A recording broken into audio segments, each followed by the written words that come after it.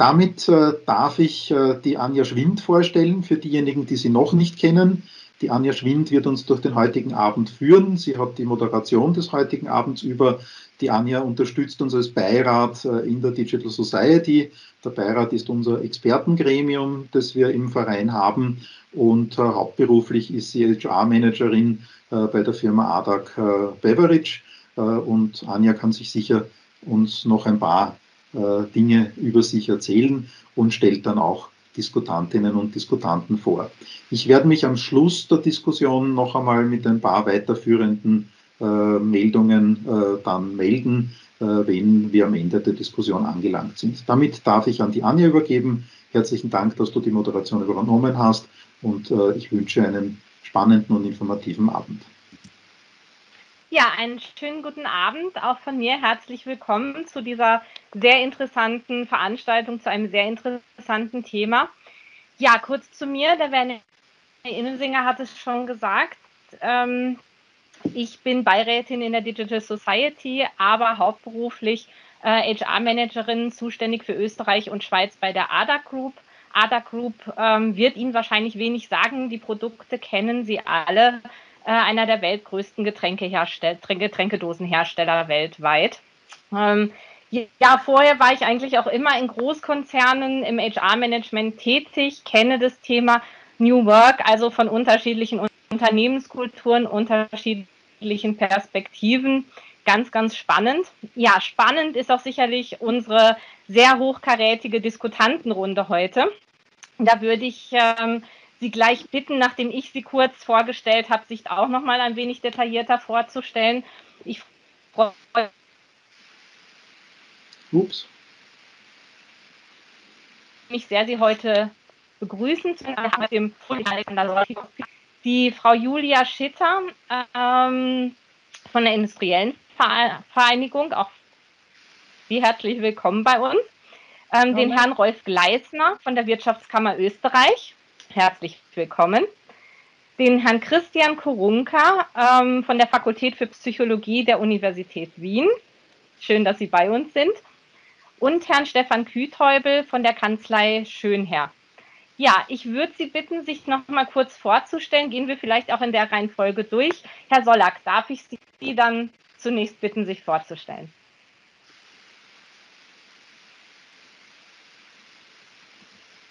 Sie sind Bitte noch auf Mute. Vergesst, jeder muss dann noch sein Mikrofon aktivieren. Ja, danke für den Hinweis. Im Übrigen auch bei uns im, im Konzern in der 1, äh, glaube ich, der meistgesagte Satz in den letzten Wochen, You're on mute, äh, passiert hoffentlich nicht mehr, aber äh, ein, ein, netter Einstieg. Äh, einen schönen guten Abend auch von meiner Seite. Mein Name ist Alexander Sollack, ich bin der Betriebsratsvorsitzende äh, im A1 Telekom Austria Konzern in der Holding ähm, die eins, glaube ich, braucht man nicht groß äh, vorstellen. Ich hoffe jedenfalls, dass sehr, sehr viele, die hier heute teilnehmen, an der Diskussion und, und äh, auch bei den Zuschauern über eine Einsleitung zugeschaltet sind. Also wir sind natürlich einer der größten oder der größte Telekommunikationsbetrieb in, in Österreich mit knapp 8000 Mitarbeitern in Österreich und international, vor allem in Osteuropa, auch tätig und in Summe 19.000 Mitarbeitern. Wie gesagt, ich bin der Betriebsratsvorsitzende der Holding seit zehn Jahren mittlerweile äh, bin auch äh, Generalsekretär unseres Europäischen Betriebsrats äh, und demzufolge auch sehr intensiv in Kontakt mit unseren Kolleginnen aus Bulgarien, Kroatien, Slowenien, Serbien, also aus dem ganzen osteuropäischen Gebiet. Und das Thema New Work und digitale Transformation und die Veränderung der Arbeitsformen beschäftigt uns sehr intensiv, aber nicht erst seit Corona schon, sondern schon viel früher, weil es ist ja ein Prozess, der natürlich durch Corona beschleunigt wurde, aber schon viel früher eingesetzt habe. Und ich freue mich schon auf die Diskussion heute. Herzlichen Dank. Frau Schitter, darf ich Sie dann bitten? Ja, einen schönen guten Abend auch von meiner Seite. Ähm, ich bin bei uns hier im Haus in der Industriellen Vereinigung im Bereich Arbeit, Soziales, Gesundheit tätig, äh, bin stellvertretende Bereichsleiterin und äh, wir beleuchten das Thema New Work natürlich vor allem von einer sozialpolitischen Seite.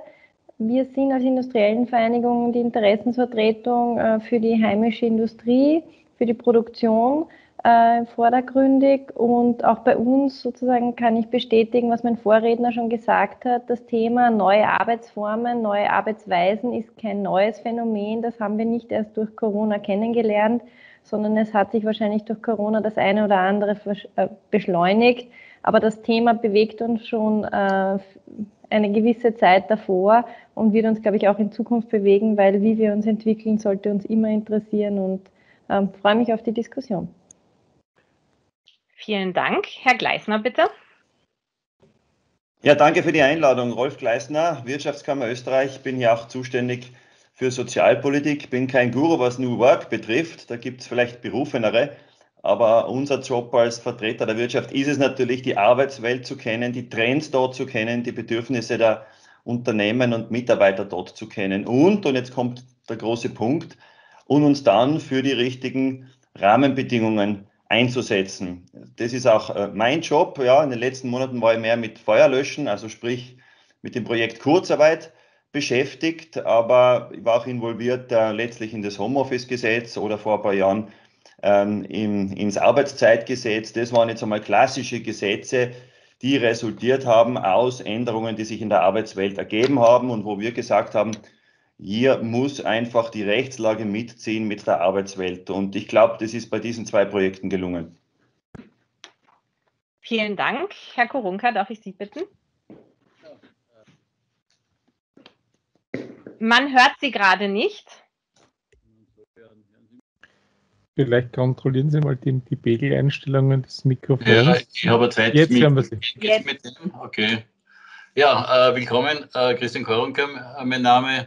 Ich leite den Bereich Arbeits- und Innovationspsychologie an der Uni Wien, bin mit Forschung schon seit eigentlich Jahrzehnten mit genau diesen Themen beschäftigt, also mit New Work jetzt schon seit Jahren in, äh, mit flexibler Arbeit, Flexibilisierung. Äh, wir haben da viele Studien dazu und haben jetzt durch Covid bedingt noch einen massiven Schub unserer Studien, weil wir uns jetzt ganz, ganz stark mit Homeoffice und ganz großen Studien in diesem Bereich beschäftigt haben. Willkommen. Vielen Dank. Ja, und last but not least, Herr Küthäubel, darf ich Sie noch bitten, sich vorzustellen? Gerne, ja. Ähm, einen schönen guten Abend mal zunächst an alle und nochmal herzlichen Dank für die Einladung an die Teaching Society. Und, äh, äh, ich habe mir gedacht, ich nehme gleich zwei Zeichen für New York, äh, für New York, New York wäre schön jetzt, ja, für New, New Work mit. Erstens einmal, ich bin Anwalt, das glauben jetzt wahrscheinlich viele nicht, weil ich keine Krawatte trage. Aber es ist tatsächlich so, ich sitze regelmäßig in Videocalls, jeden Tag äh, zig Videocalls mit äh, HR-Leitern, CEOs und äh, wir sind alle befreit von unseren Krawatten. Also das ist einmal das Erste, was sozusagen die Stolz, ja, Rolf, du bist, du bist ein, du bist ein Fels in der Brandung, ja. Aber ich habe da diesen Trend sehr gerne aufgenommen. Äh, die Befreiung äh, der Anwälte von den Krawatten hat bei uns Einzug gehalten. Das ist immer das eine. Und das zweite, ich kann mich jetzt jederzeit in unsere wunderschöne Lobby am Schottenring 19 begeben, auch wenn ich äh, meilenweit davon entfernt sitze. Wir alle haben gelernt, äh, lustige oder weniger lustige Hintergrundbilder zu produzieren. Also das sind, wollte ich mal ein bisschen zum Einstieg präsentieren. Das sind meine zwei großen Highlights des New York als Anwalt, weil als Selbstständiger hat man ja bis jetzt schon auch rund um die Uhr arbeiten dürfen. Abgesehen davon, von diesen zwei äh, Einstiegen ist Schönherr eine Kanzlei, die sich in 14 Ländern befindet, von Polen bis Türkei mit unserem Headquarter in Wien. Wir sind äh, circa 300 Juristen oder Berufsträger, wie wir auch sagen, und insgesamt 600 Mitarbeiter. Ich darf bei Schönherr den Bereich Arbeitsrecht leiten, also ich bin hier Partner und äh, auch Praxisgruppenleiter unserer Arbeitsrechtsteams in den einzelnen Ländern. Also so ähnlich wie der Herr Solak, nur von der anderen Seite habe ich halt sehr viel auch international zu tun, was natürlich in diesen Zeiten sehr herausfordernd ist und sehr, wirklich sehr, sehr, sehr interessant auch, wie sich die Trends entwickeln. Wir wurden am 13.03. hat der Herr Bundeskanzler kurz die Pressekonferenz gehalten am Abend und am nächsten Tag bin ich aufgestanden um 9 Uhr hat das erste Mal mein Handy geläutet und ich habe den ganzen Samstag und Sonntag durchtelefoniert wirklich durchtelefoniert im wahrsten Sinne des Wortes und wir haben seitdem eine komplett andere Situation als auch Recht, also äh, in, der, in Österreich, in der Arbeitswelt als Rechtsberater, es hat sich so viel geändert, das können wir alles noch gar nicht abschätzen. Also nicht nur juristisch, auch äh, von den anderen Themenbereichen, wo auch hier die Interessenvertreter da sind. Ich freue mich daher sehr auf die Diskussion und ja, nochmal vielen Dank für die tolle Einladung. Ja, sehr gerne. Ich kann auch bestätigen, dass ich den Herrn Kütäubel schon mit Krawatte gesehen habe. Also New Work macht da auch flexibel. ja, vielen Dank für die Vorstellungsrunde. Unsere Digitalk-Reihe besteht ja immer aus drei Veranstaltungen. Letzten Monat hatten wir da die erste Veranstaltung. Ähm, da würde ich einfach mal ganz kurz zusammenfassen, damit Sie auch wissen, worum es da ging. Ja, New Work, was ist das eigentlich? Entwickelt wurde es von dem Sozialphilosoph Friedhof Bergmann, ähm, der angenommen hat, dass die bisherigen Arbeitssysteme veraltet sind und durch die zunehmende Digitalisierung und Globalisierung Arbeitsweisen zeitlich, räumlich und organisatorisch einfach flexibler werden. Diese Vorträge, äh, zum einen vom Herrn Professor Michael Barth der Uni in Krems, der uns auch mitgeteilt hat, dass im März letzten Jahres plötzlich 700.000 Personen Homeoffice an, äh, weil ich auch eine Sache, die sich da extremst beschleunigt hat, das Thema Homeoffice. Ähm, ja, zweiter Diskutant war der Herr Markus Stelzmann von der Telehase. Da ging es um das Thema Selbstorganisation, Führung. Ähm, die Telehase ähm, hat ein ganz interessantes Konzept. Sie haben die Führungskräfte abgeschafft. Also auch ganz, ganz spannend, was New Work betrifft. Ja, ich durfte auch einen Vortrag halten, ähm, habe mehr oder minder auch gesagt, New Work ist eben auch nicht nur Homeoffice, das, was vorhin auch schon angesprochen wurde. Ähm, und es bedarf einfach da auch eine ziemliche Veränderung der Führung, ähm, damit man wirklich den richtigen Weg von New Work gehen kann. Ja, wenn New, Work die Veränderung der Arbeitswelt durch die, die Digitalisierung ist, ähm, ist es eben nicht nur Homeoffice. Jetzt starten wir mal in die Runde. Ähm, zum ersten mit der Frage, was bedeutet für Sie die Vision von New Work? Vielleicht sagen wir mal Ladies first. Frau Schitter, vielleicht darf ich Sie als Erste bitten. Dankeschön. So, ich hoffe, es hören mich wieder alle. Ja. Vielen Dank. Ähm, ich denke, ich habe schon zu Beginn ausgeführt, ähm, gerade im Bereich der produzierenden Industrie wäre es viel zu ähm, kurz bemessen, nur über den Bürobetrieb zu sprechen. Und natürlich ist der Bereich des Homeoffice natürlich äh, vor allem ein Bereich, der die White-Collar-Workers betrifft. Überall dort, äh, wo ich produziere, wo ich an der Maschine stehen muss, kann man mit Homeoffice im klassischen Sinne sehr wenig äh, anfangen.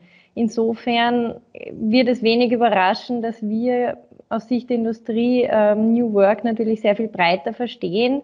Und die Vision, glaube ich, die man entwickeln kann, ist, es muss sozusagen allen Beteiligten einen Vorteil bewirken. Die neue Arbeitsweise sollen Prozesse beschleunigt werden, es soll effizienter gearbeitet werden können, natürlich da oder dort orts- und zeitunabhängiger gearbeitet werden können. Ähm, aber es soll uns natürlich auch ermöglichen, auf die individuellen Umstände des Einzelnen verstärkt eingehen zu können, gleichzeitig aber auch äh, sozusagen die Produktionsprozesse dementsprechend ähm, passgenauer gestalten zu können. Und ein Effekt sozusagen, den New Work natürlich mit sich bringen kann, aufgrund der ganzen neuen Tools, die wir auch haben, dass ich eine gewisse Transparenz leichter darstellen kann, auch eine gewisse Dokumentation ähm, mir erleichtern kann, was früher vielleicht sehr viel schwieriger war. Insofern wäre meine Vision, dass das gemeinsame Arbeiten für alle Akteure erleichtert und verbessert wird in Zukunft. Vielen Dank. Ähm, vielleicht ähm, mal Herr Gleisner von der Wirtschaftskammer. Wie sehen Sie das? Was haben Sie da so für Rückmeldungen von Unternehmen? Ja, wie gesagt, ich habe gesagt, ich bin, ich bin kein Guru, was New Work betrifft, aber wir, wir beobachten natürlich die Arbeitswelt und die Trends. Äh, und ich will vielleicht einmal die andere Seite beleuchten. Äh, es gibt ja viele Ängste, die mit der Technisierung, mit der Digitalisierung zusammenhängen, die zum Teil recht diffus sind. Und wenn man sich dann die Zahlen genau anschaut, ähm, dann sind diese Ängste oft unbegründet. Ich stelle mal einfach so eine Frage in den Raum äh, an, an die Teilnehmer. Man sagt ja immer, dass ähm, die Dienstverhältnisse zum Beispiel viel schnelllebiger werden äh, in, in der neuen Arbeitswelt. Ähm, aber was glauben Sie, wie sehr hat sich die durchschnittliche Betriebszugehörigkeit in den letzten 15 Jahren in Österreich verändert? Sie hat sich gar nicht verändert. Das durchschnittliche Dienstverhältnis hat vor 15 Jahren zehn Jahre gedauert, dauert jetzt auch zehn Jahre. Ähm, oder will vielleicht ein, vielleicht ein äh, anderes Beispiel. Ähm, die, die Furcht ist ja immer, äh, dass äh, die Jobs ausgehen infolge der Digitalisierung. Aber wir erkennen tatsächlich, ich meine, die Corona-Krise überlagert jetzt alles, aber unabhängig oder abgesehen von dieser Krise, haben wir jetzt nicht erkannt und wir haben unsere Fachverbände hier durchgeprüft, ob der technologische Wandel in den letzten Jahren sich irgendwie beschleunigt hat und danach auf den Arbeitsmarkt ausgewirkt hat. Wir haben das nicht erkannt. Wir haben sogar ganz im Gegenteil eine Zunahme an Jobs gesehen in Zeiten, wo die Wirtschaft nur wenig gewachsen ist, in den Jahren 15, 16, 17. Das heißt, auch hier muss man sagen, dass diese Befürchtung, die äh, dieser Digitalisierung entgegengehalten wird, zunächst einmal den harten Fakten nicht immer standhält. Oder vielleicht einen, einen letzten Punkt, um das noch hineinzuwerfen. Ein Thema natürlich, das uns beschäftigt, ist klarerweise die Flexibilität. Das betrifft das Thema Arbeitszeit, hm, aber etwa auch das Thema Abgrenzung äh, Arbeit und Freizeit ist ein, ist ein Klassiker, wo immer kritisiert wird, dass ähm, die Unternehmen, die Arbeitnehmer in der Freizeit beanspruchen. Wir haben da eine Umfrage gemacht und es hat sich gezeigt, ja, das stimmt. Die Arbeitnehmer werden tatsächlich bis zu einem gewissen Grad in der Freizeit auch von den Unternehmen beansprucht, am Handy oder am PC. Aber wir haben auch die Arbeitnehmer gefragt, wie viel äh, private äh, Aktivitäten sie während der Arbeitszeit machen. Und siehe da, es waren mehr als doppelt so viel, was die Arbeitnehmer selber angeben. Also man sieht ähm, diese neue Arbeitswelt, ich glaube, man braucht sich nicht unbedingt immer vor ihr fürchten. Sie ist, sie ist eine Art Geben und Nehmen. Und ähm, als Wirtschaftskammer ist es unsere Aufgabe, hier auch zu schauen, ob die Spielregeln, die Rahmenbedingungen für diese Arbeitswelt adäquat sind. Und hier haben wir natürlich immer eine Gratwanderung. Eine Gratwanderung einerseits zwischen der, der Freiheit, zwischen der Vertragsfreiheit, auf die legen natürlich die Unternehmen besonderen Wert, äh, durchaus auch Arbeitnehmer, Angestellte, vor allem qualifiziertere. Und auf der anderen Seite das Bedürfnis nach Absicherung und nach Rechtssicherheit. Und irgendwo müssen wir da immer gemeinsam mit den Sozialpartnern einen Mittelweg finden.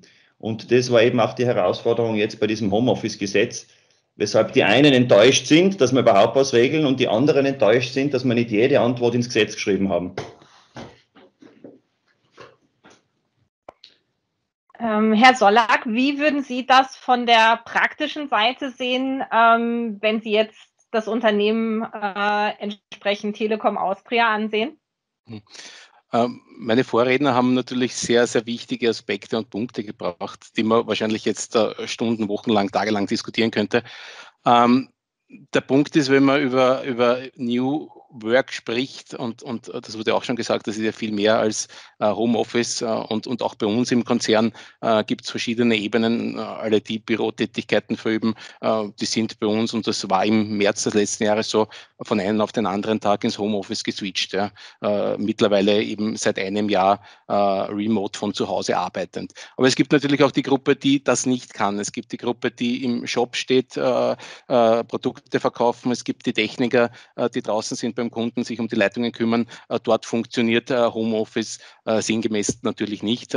Und dementsprechend ist, ist auch das Thema New Work und neue Arbeitsformen viel breiter zu sehen als nur Homeoffice. Ähm, was, wir, was wir auch seit vielen Jahren diskutieren, ist, ist die Veränderung der Arbeitsformen. Und daher Dr. Gleisner hat was Wichtiges gesagt oder eine, eine richtige Frage gestellt es gibt Ängste, es gibt Verunsicherung und, und da kann man natürlich äh, mit Daten und Fakten argumentieren, aber es ist natürlich äh, psychologisch oder einfach äh, ein, ein, eine menschliche Empfindung, dass man bei Veränderungen Verunsicherung spürt und, und denen muss man einfach begegnen die Veränderung der Arbeitsformen oder der Arbeitswelt, das hat sich historisch betrachtet immer gegeben. Ja. Äh, der Unterschied zur äh, aktuellen digitalen Transformation ist, ist aus meiner Sicht die Geschwindigkeit. Ja.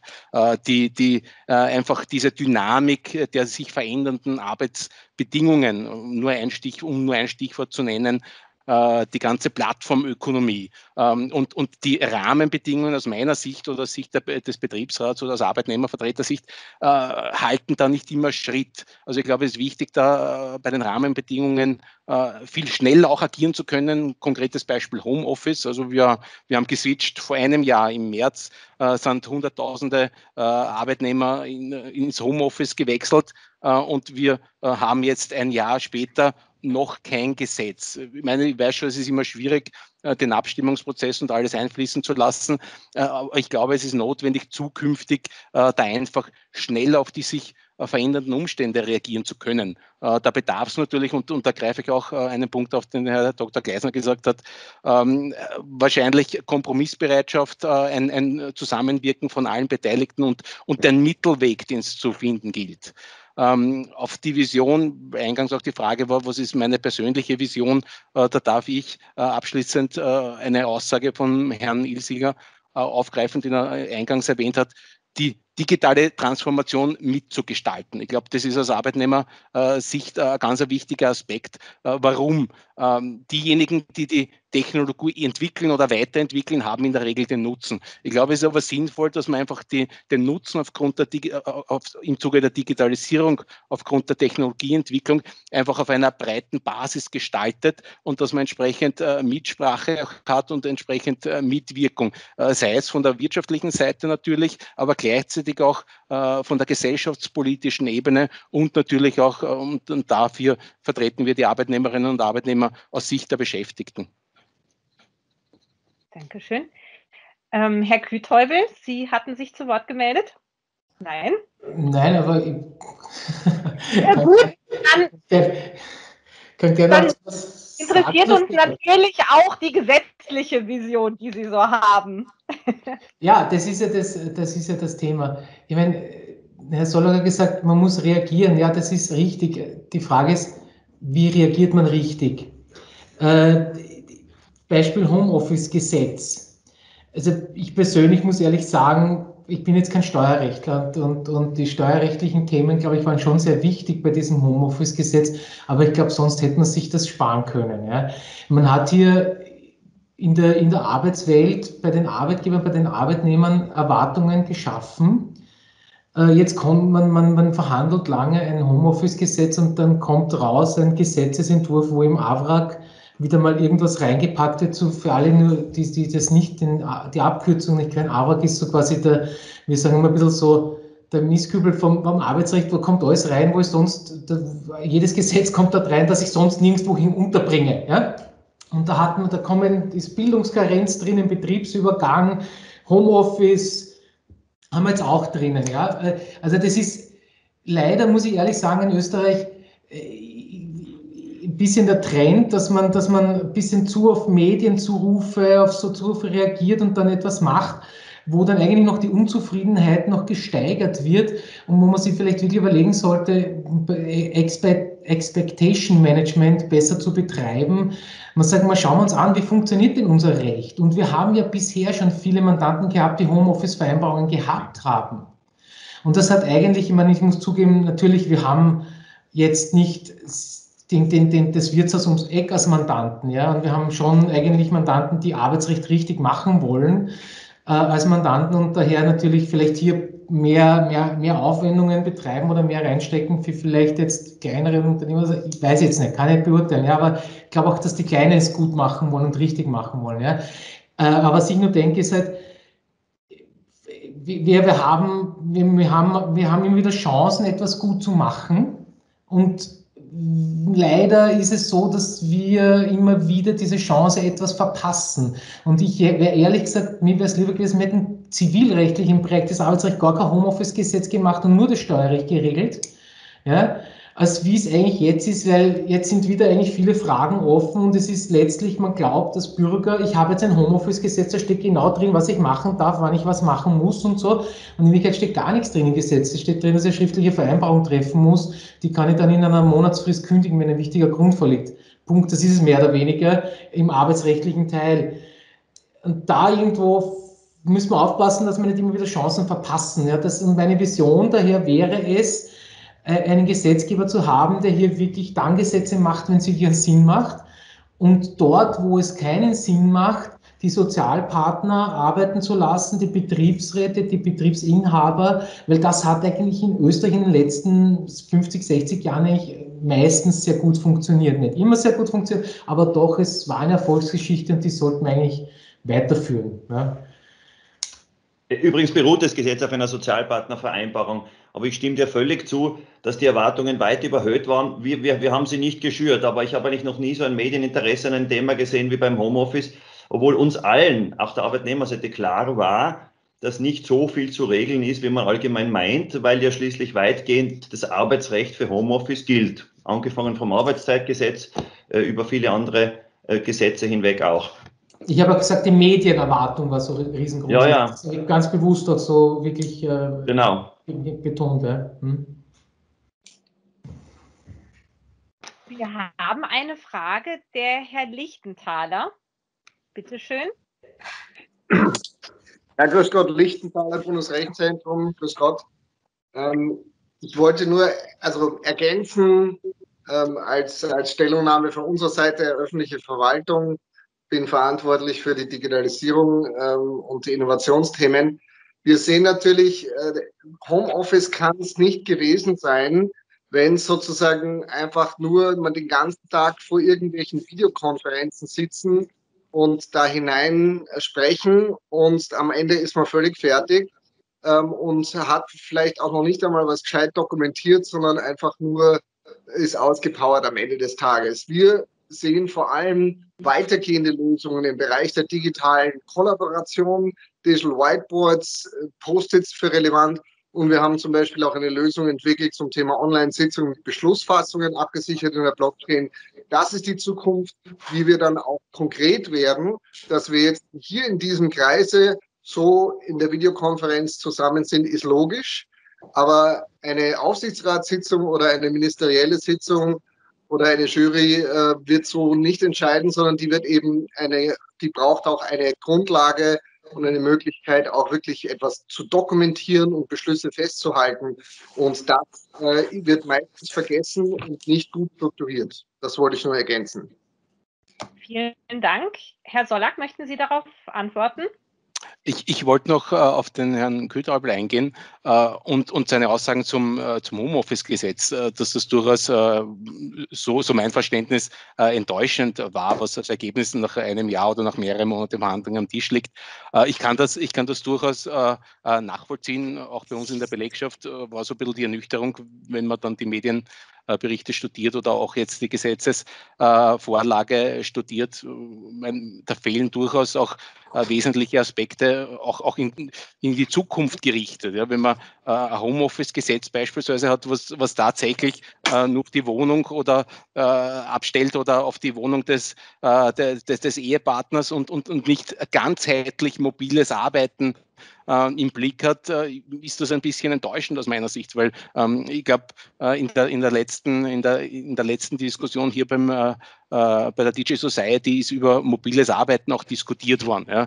Also ist ja viel breiter als nur äh, das Arbeiten von zu Hause oder auch das Thema der Nichterreichbarkeit. Ja. Wir, wir, sehen natürlich im Zuge der digitalen Transformation und des digitalen Wandels, dass sich ähm, Arbeit und, und Privat, also Beruf äh, und, und Persönliches immer mehr äh, vermengt und vermischt. Äh, und da eine Abgrenzung zu finden, ist irrsinnig schwierig. Eine Entgrenzung der Arbeit. das heißt, ein, das Thema der Nichterreichbarkeit muss diskutiert werden. Übrigens auch ein Thema, das mittlerweile schon in, in der Europäischen Union angekommen ist und im Europäischen Parlament diskutiert wurde. Also ja, ich kann durchaus auch, auch für mich in Anspruch nehmen, dass das Ergebnis, was am Tisch liegt, ähm, den Erwartungen nicht standgehalten hat. Herr Korunka. Ja, ähm, ich kann zu vielen Dingen was sagen, möchte aber nichts zum, zum, zum, zum, zum Gesetz sagen. Vielleicht nur so viel aus meiner Laiensicht ist ein Gesetz äh, etwas, das der Wirklichkeit hinten nachläuft und das kann ein, ein Zwischenschritt sein, weil sich einfach diese Welt so schnell verändert. Also ich hätte jetzt keine besonderen Wünsche oder Anforderungen. Das kann nur ein Kompromiss sein und das ist es einmal. Äh, viel mehr möchte ich nicht dazu sagen. Zum Grundthema, äh, mir scheint die Diskussion sehr ein bisschen zu breit zu sein. Ich würde mal New Work ganz gerne ein bisschen eingrenzen. Aus meiner Sicht geht es da um Entgrenzung letztlich und um Flexibilisierung einerseits und um Unterstützung der Informationstechnologien. Das sind so diese beiden Säulen. Bei der Entgrenzung haben wir die zeitliche Dimension, die örtliche, also Homeoffice als eine Variante. Wir haben die Entgrenzung der Abläufe und wir, wir haben die Entgrenzung der Verträge.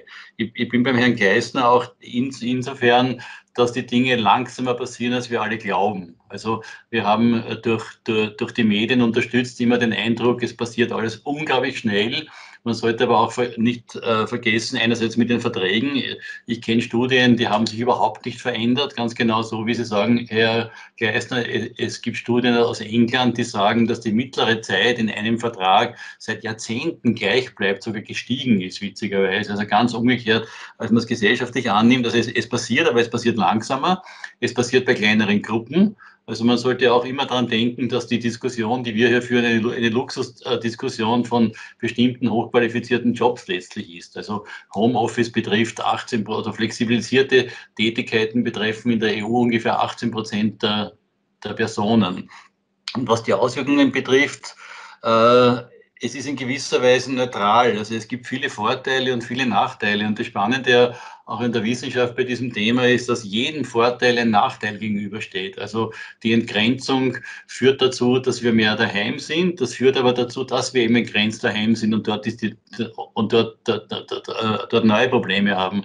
Mehr Autonomie führt dazu, dass wir letztlich weniger Autonomie haben. Autonomieparadox wird in der Forschung beschrieben. Das heißt, das Thema ist, ist relativ schwer fassbar und man kann es am besten über neue Anforderungen und Intensivierung fassen. Und da muss man schon psychologisch sagen, wir zahlen schon einen gewissen Preis für diese Auswirkungen. Also im Homeoffice wird länger gearbeitet, die Arbeitsintensivierung hat zugenommen. Äh, wir haben gewisse Bedürfnisse, soziale Bedürfnisse, jetzt insofern noch mit diesem Videomodus, die nicht erfüllt werden. Also das sind schon Dinge, die, die quasi auf der Minusseite zu sehen sind. Ne, daneben natürlich die Plusseite, keine Frage. Also von der, von der äh, äh ökologischen Seite bis zu, bis zu besserer Work-Life-Balance und so weiter.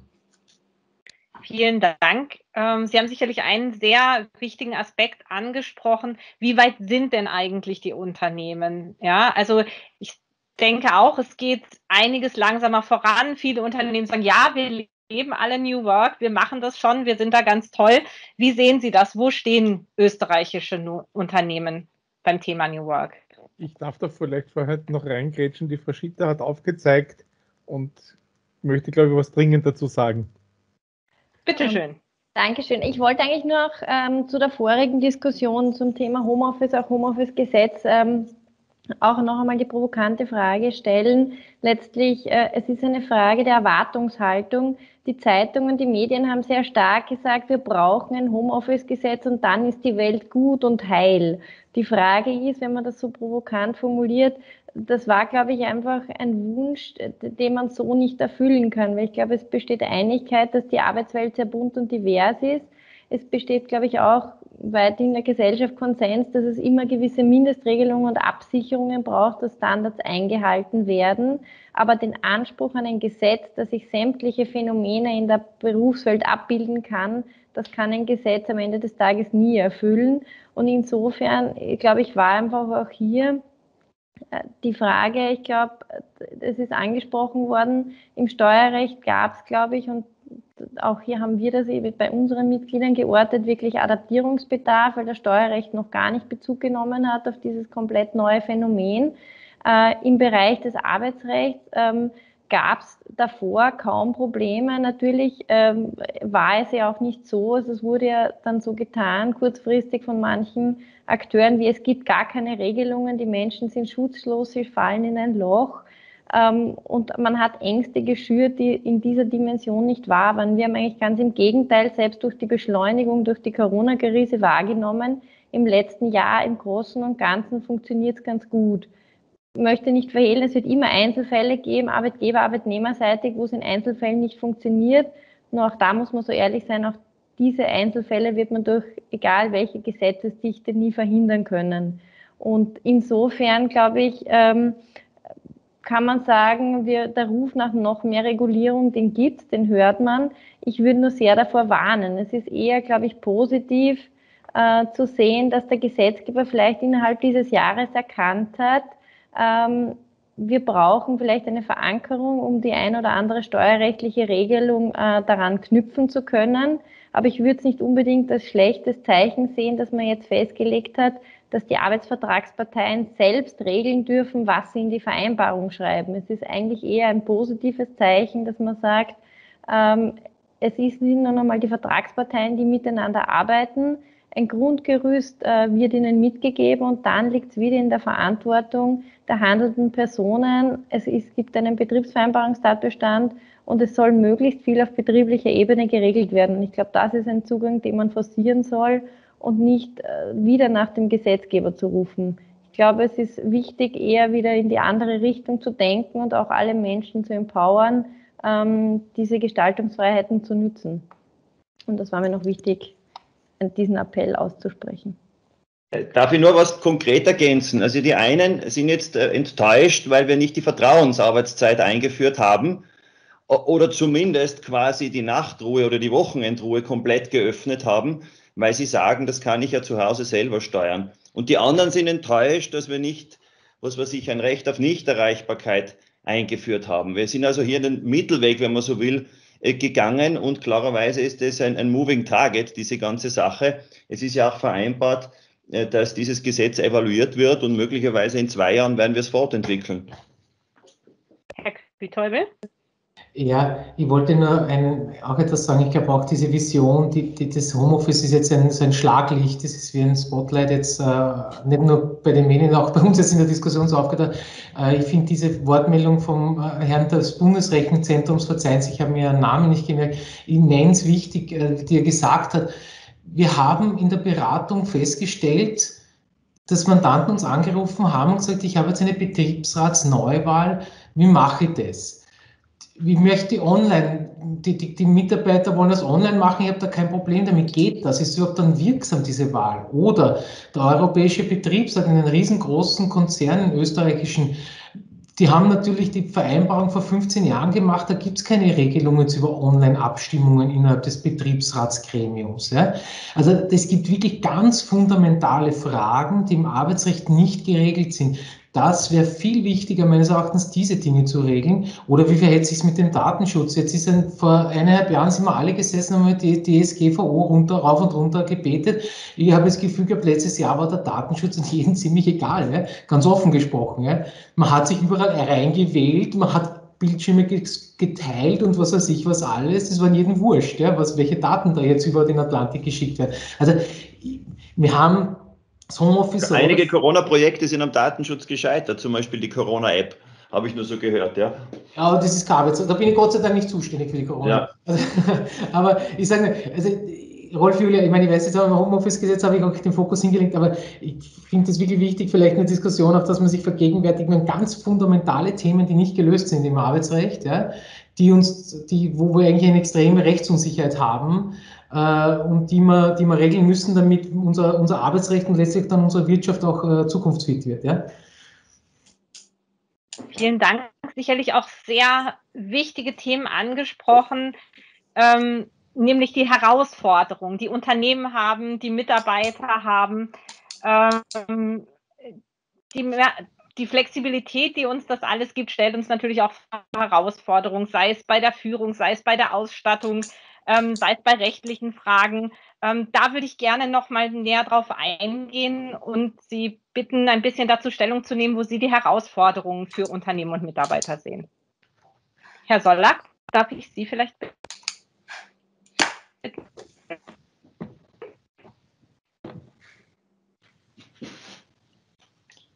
Ich Mikrofon. Glaube, das Mikrofon bitte aufdrehen, dann hören wir Sie auch. Herr Sollack. Ihr Mikrofon ist mal muted. Yes, yes. Ja. Uh, sorry nochmal. Uh, ich würde trotzdem noch gern einen Abschlusssatz aus meiner Sicht zum Homeoffice-Gesetz sagen, weil es äh, trotzdem wichtig ist. Und, und es ist für mich ein bisschen schwierig, weil die Diskussion so breit äh, gefächert ist und, und äh, so viele äh, Einzelthemen äh, da angesprochen werden. Äh, ich glaube, es ist aber trotzdem wichtig, bei all den Schwierigkeiten, die wir haben, auch, auch gesetzliche Regelungen zu treffen und nicht alles auf die betriebliche Ebene zu shiften. Warum? Weil einfach die Arbeitnehmer oder der einzelne Arbeitnehmer natürlich auch einen, eine durchaus unterschiedliche Verhandlungsmacht hat als das Unternehmen. Darum ist es durchaus gut, äh, Dinge auch gesetzlich zu regeln. Äh, dass man immer hinterherhinkt, äh, ja, das stimmt. Dass man vieles nicht regeln kann, ja, stimmt auch. Aber trotzdem, das Arbeitsrecht hat ja sozusagen auch als Kern Schutz, einen Schutzmechanismus auch für die, für die Arbeitnehmerinnen. Da bin ich wahrscheinlich jetzt mit meiner Ansicht allein auf weiter Flur hier in der Diskussion. Aber ich glaube, dass es trotzdem wichtig ist, über die Gestaltungsfreiheit hinaus, die man man ja auf betrieblicher Ebene äh, finden kann, äh, einen, Grundstock an, an, Regelungen äh, zu finden. Auf die Herausforderungen, auf die konkrete Frage, was, was, was sind die konkreten Herausforderungen? Einiges ist auch schon angesprochen worden, was wir, was wir ganz stark auch, auch, auch sehen, diese Vermischung und das Verschwimmen von, von, von beruflichen und, und privaten, das Entgrenzen der Arbeit. Es ist irrsinnig schwierig und, und ich telefoniere oft und sehr viel mit meinen Kolleginnen und Kollegen äh, und wir telefonieren lang und da geht es dann äh, fünf, zehn Minuten übers berufliche und betriebliche und dann äh, schwenken wir relativ rasch oft ins, ins Persönliche, ins Private. Was natürlich aufgrund der Homeoffice-Situation, der, der sozialen Distanz, die man jetzt erfährt, ähm, passiert ist, dass einfach diese, diese, wie soll man sagen, diese Isolation, diese soziale Entfremdung auch stattfindet. Das kann man insoweit kompensieren, ähm, als sich, äh, als sich die äh, Arbeitnehmerinnen noch äh, gut kennen. Ja. Aber je länger so ein, ein, Zustand fortdauert, desto schwieriger ist es. Und wir haben irrsinnige Probleme, äh, neue Mitarbeiter, die bei uns anfangen, und das passiert ja laufend in einem großen Konzern, anzuborden. Ja. Äh, wie gesagt, wenn es ein Team gibt, wo sich die Mitarbeiter untereinander können, kennen, äh, wo die Führungskräfte ihre äh, Beschäftigten kennen, äh, dann kann man einen, einen gewissen Zeitraum überbrücken. Aber diese permanente äh, Situation von zu Hause remote zu arbeiten, äh, ist sicherlich nicht das, was sich viele vorstellen. Und es gibt ja auch Befragungen der Gewerkschaft äh, und, und ich kann das auch nur bestätigen aus meinem persönlichen Umfeld, aus meinem beruflichen Umfeld. Was wünschen sich die Arbeiter zukünftig, wenn die Corona-Krise überwunden ist? Eine Art hybride Arbeitsform, dass es immer wieder Extreme gibt von, von Personen und Menschen, die sagen, ich will nur mehr zu Hause arbeiten oder ich will gar nicht zu Hause arbeiten. Das, das, das gibt es ja, aber der Großteil der Beschäftigten sagen, da gibt es durchaus auch Vorteile von den neuen Arbeitsformen. Lasst uns diese auch nutzen. Und die Vorteile liegen sowohl bei den Beschäftigten als auch bei den Unternehmen. Wichtig ist da eine, eine entsprechende Balance zu finden. Also das Thema Onboarding fand ich gerade sehr interessant. Das ist, glaube ich, ein Thema, was die Personaler gerade sehr auf dem Schirm haben, zu schauen, wie machen wir das gerade mit dem Onboarding, wie schaffen wir die Leute wirklich einzubinden ich weiß es aus eigener Erfahrung. Ich habe im ersten Lockdown das Unternehmen gewechselt. Äh, ich kenne bis jetzt noch keinen der Mitarbeiter in der Schweiz persönlich, obwohl ich für die Schweiz zuständig bin. Ja, ich kenne sie alle per Video. Ähm, aber das ist natürlich schon eine andere Situation, als wenn man mal da war und wirklich mit den Leuten persönlich geplaudert hat. Ja, und ich denke, das ist wirklich eine große Herausforderung. Ähm, Herr Kurunka, wie sehen Sie das Thema von der arbeitspsychologischen Seite? Naja, da gibt es vieles zu sagen. Ich würde gerne bei der Vertrauensarbeitszeit anschließen. Äh, nicht unbedingt bei dem Fakt, dass es nicht im Gesetz ist, sondern das Problem beginnt ja vorher. Also wir haben vor einem Jahr eine Expertenstudie gemacht, eine österreichische Befragung von, von, von mit Deloitte gemeinsam von mehreren hundert Personalisten. Da kommt raus, dass Vertrauensarbeitszeit fast nicht umgesetzt wird. Was ist die psychologische Frage dahinter? pointiert formuliert, es gibt kein Vertrauen. Wir leben in einer Kontrollwelt und sollen jetzt in der entgrenzten Arbeit radikal auf Vertrauen umschalten. Jeder von uns, ich, ich kann es ganz persönlich sagen, seitdem ich im Homeoffice sitze, obwohl ich selber das gut weiß, also Mitarbeiter arbeiten mehr im Homeoffice, ich frage mich dann selber oder ertappe mich selber dabei.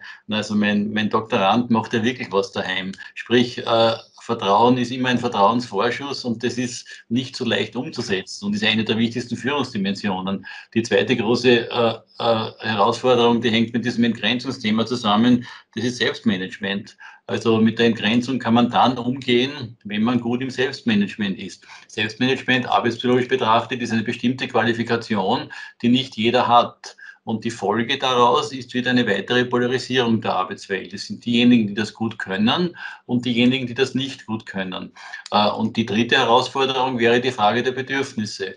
Interessant in der Homeoffice-Diskussion ist im Augenblick das Faktum, dass etwa drei Viertel der, der, derjenigen, die im Homeoffice sitzen könnten, im Büro sitzen.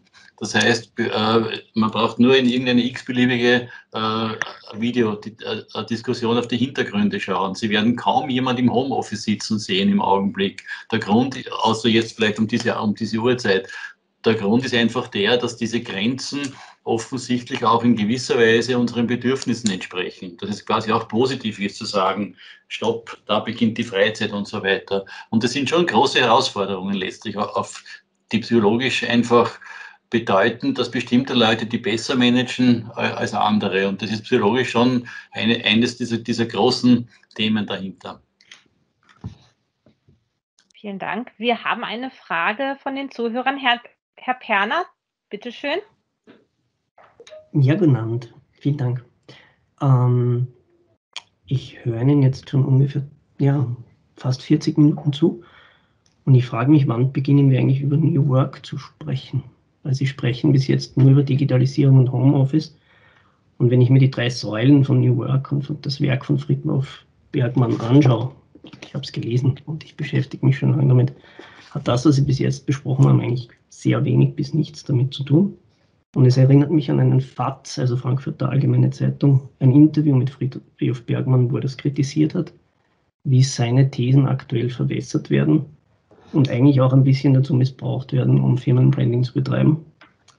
Und ich würde Sie darum bitten, vielleicht einfach, wenn Sie möchten, lieber, also vielleicht, ich würde es mir wünschen, in diesen Diskurs über New Work einzusteigen, weil New Work bedeutet nicht, ob ich Homeoffice sitze oder nicht, sondern es ist eine neue Art, Freiheit und Entscheidungen zu treffen. Und diese drei Säulen Lohnarbeit, Calling, was ich wirklich, wirklich will, und Eigenarbeit, das sind die drei Säulen und das hat mit dem, was bis jetzt besprochen wurde, fast nichts zu tun. Es ist ein kleiner Bereich davon gewesen, und zwar die Lohnarbeit, von der Sie die ganze Zeit gesprochen haben. Und die wird nur noch einen ganz kleinen Teil davon beitragen. Und vielleicht noch einen letzten Satz, nämlich ursprünglich ist New York, New York als Gegenmodell zum Kapitalismus gedacht gewesen. Nur so als kleine Anregung. Vielen Dank. Ja, vielleicht erklärt es, warum mir zu diesem Aspekt nicht allzu viel einfällt. Es tut mir leid. Ich denke auch, dass gerade das Thema Homeoffice, mobiles Arbeiten aufgrund des Gesetzes und aufgrund der Covid-Situation einfach auch äh, in Unternehmen, äh, jetzt gerade auch in der Gesellschaft durch die Medien sehr, sehr präsent ist und dass das sicherlich auch heute die Diskussion ein wenig erklärt. Herr Kühtäubel, darf ich Sie bitten? Ich muss ehrlich zugeben, ich habe das vom Herrn Bergmann nicht gelesen. Ja. Ähm, ich bin auch vielleicht dann der Falsche für die Diskussion, weil ich natürlich als Rechtsanwalt äh, mir anschaue, was gibt es an, an, gesetzlichen Bestand und was, was sozusagen, was ist gut, was ist schlecht, äh, wo entwickelt sich die Rechtsprechung hin, wo gehen die Trends hin. Ja? Ich, ich sehe halt, es gibt, es gibt, es mangelt es gibt Visionen, die sind eben oftmals sehr gut und, und, und her, ja. Nur die Realität ist da noch bei Weitem nicht so weit. Und wie gesagt, ich komme da wieder zurück. Ja, solange wir nicht einmal wissen, ob sie ein, ein, ein, ein europäischer Betriebsrat europaweit digital treffen darf und dadurch dann Tausende an CO2-Kilos oder verzeihen Sie mir, falls ich das jetzt völlig mathematisch falsch berechne, spart, weil niemand mehr zu einem Betriebsratsmeeting fliegt aus 20 Ländern sondern weil alle vorm Computer sitzen und das ist in drei Stunden erledigt und, und man spart viel Geld, viel Stress und schont die Umwelt. Ob das jetzt ein Teil von New, York, New Work ist, weiß ich nicht, aber das wäre für mich jetzt als Rechtsanwalt und als Rechtsanwender, als Unternehmensvertreter eine super Sache. Ja? Ähm, das ist das eine. Und das andere, was mir auch, äh, ich kann den Herrn Koronka vielen Dank für Ihre Worte, meine sehr interessant und ich habe auch das Gefühl gehabt, ich habe sehr viel mit Personalisten zu tun, wie der Frau Schwind, dass alle viel zu viel gearbeitet haben letztes Jahr. Wir haben alle, alle, alle viel zu viel gearbeitet und ich bin als Anwalt, ich, ich kann es wiederholen, wir sind, ich bin ja gewohnt, viel zu arbeiten, aber das ist nicht gesund auf die Dauer. Da bin ich fest überzeugt davon. Und dahin, da hier der New Work und, und Visionen werden irgendwo an Grenzen stoßen, weil der Mensch dann zu, dazu neigt, sich selbst auszubeuten. Daher, jetzt sage ich ganz was Arbeitgeber und Vertreter untypisches, es braucht schon Grenzen. Ja? Weil die Menschen selber sich, wenn man jetzt in der Pandemie nichts zu tun hat, was soll man machen? Dann arbeiten wir halt noch ein bisschen. Ne? Also das ist, äh, das ist schon sehr gefährlich auch, was hier passiert und ja, das, das wollte ich noch in Herrn Koronka vielen Dank sagen für seine äh, gute Worte. Herr Sollack, bitteschön. Sie sind noch auf Mute. Ja, ja, jetzt nicht mehr. Äh, ich darf noch mit einem Satz auf den äh, Herrn Kühdobel eingehen und den Europäischen Betriebsrat. Also wir machen unsere äh, EBR-Sitzungen äh, virtuell über MS Teams und gerade in der Corona-Phase haben wir das durchaus auch äh, monatlich gemacht. Also es funktioniert, wenn man will, aber ja, äh, die rechtlichen Rahmenbedingungen dazu fehlen. Ich möchte auf den Vorredner eingehen zum Thema New Work. Ähm, ich, ich, kann die Kritik durchaus nachverfolgen, weil in der Diskussion bei uns im Betrieb, und ich kenne das auch aus vielen anderen Unternehmen, äh, sehe ich das auch oft sehr kritisch, wie äh, mit dem Begriff New Work oder auch, auch äh, Begriffe wie äh, Agilität und, und dergleichen umgegangen wird. Äh, und ich sehe das oft auch nur als, als irgendein Buzzword, was verwendet wird, um, äh, um, um irgendwelche anderen Dinge, die nicht funktionieren, zu erschlagen. Nach dem Sinn oder, oder nach dem Motto, das funktioniert jetzt nicht, das ist ein bisschen chaotisch, aber das ist halt das New Work, das ist halt die neue Agilität.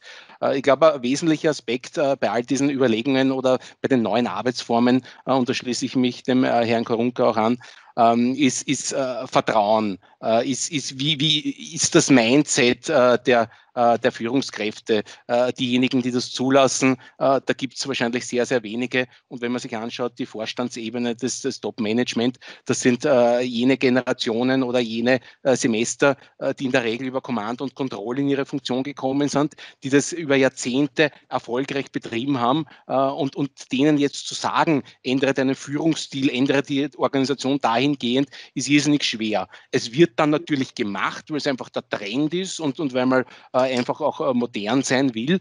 Äh, aber im, im Gedanken, im Mindset ist es nicht angekommen. Und das beobachte ich bei uns, das beobachte ich ja auch bei anderen Betrieben. Was passiert dann? Es werden hilfsweise Strukturen, Organisationsstrukturen geschaffen, agile Teams. Die Führung als solches hält dem aber nicht stand. Da werden dann äh, die, die technologischen Entwicklungen, die Systeme, die es dann gibt, wiederum als Kontroll- und Command-Instrumente verwendet. Ja. Äh, der, Techno der, technologische Fortschritt, äh, Fortschritt, lässt das ja zu. Man kann ja alles überwachen. Und einen Punkt möchte ich in die Diskussion äh, auch noch einbringen, obwohl es jetzt äh, nicht äh, Thema New Work als solches ist. Aber was wir schon sehen, ist, dass das ganze Thema Datenschutz, Datensicherheit ein irrsinnig großes Thema ist, ja, was, was, was man auch äh, mit, mit diesen ganzen äh, Entwicklungen äh, diskutieren muss. Herr Korunka, bitteschön. Nein, ich kann ihm auch direkt anschließen. Äh, vielleicht hat es mit meinem Alter zu tun. Mir gehen diese ganzen Schlagworte immer mehr äh, auf die Nerven. Also ich kann Agilität schon gar nicht mehr hören irgendwie. Das sind einfach Modeworte, die einfach Hüllen sind letztlich. Wir, mir geht es eher darum, psychologisch betrachtet, ticken wir ziemlich einfach. Wir haben gewisse Grundbedürfnisse. Wenn die erfüllt werden, ist es ein guter Job. Und dann ist es auch ein Job, der diesem dritten Kriterium des New Work entspricht. Was sind das für Bedürfnisse? Äh, wir haben ein Bedürfnis nach Kompetenz. Also gute Arbeit entwickelt uns weiter. Wir haben ein Bedürfnis nach Autonomie gute Arbeit äh, gibt mir die Möglichkeit, frei zu sein, äh, äh, freie, freie Entscheidungen zu treffen. Wir haben ein Bedürfnis nach Struktur und Sicherheit. Ein guter Job ist der, wo ich mich nicht jeden Tag fürchten muss, ob ich den morgen verliere.